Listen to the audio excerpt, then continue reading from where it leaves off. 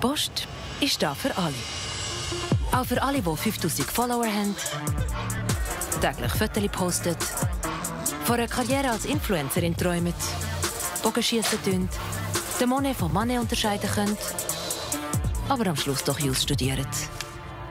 Ja, auch für genau sie ist die Post da.